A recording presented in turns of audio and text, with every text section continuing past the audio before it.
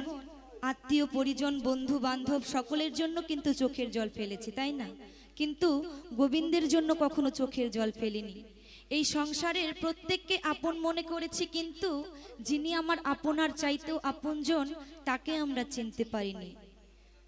তাই মহাজন বললে, যার জন্য ভাবছ তুমি, সে কিন্তু তোমার কথা ভাববে না। আর যার জন্য তুমি একবারও ভাবনি, সে কিন্তু তোমার চিন্তা করে। কথায় আছে, যে করে হরির চিন্তা, হরি করে তার চিন্তা। কিন্তু আমরা প্রত্যেকে ভগবানকে ভালোবাসি, কিন্তু কখন? যখন আমরা বিপদে পড়ি, সংকটের সম্মুখীন হই, তখন আমরা কিন্তু ভগবানকে ডাকি, তার আগে ডাকি না।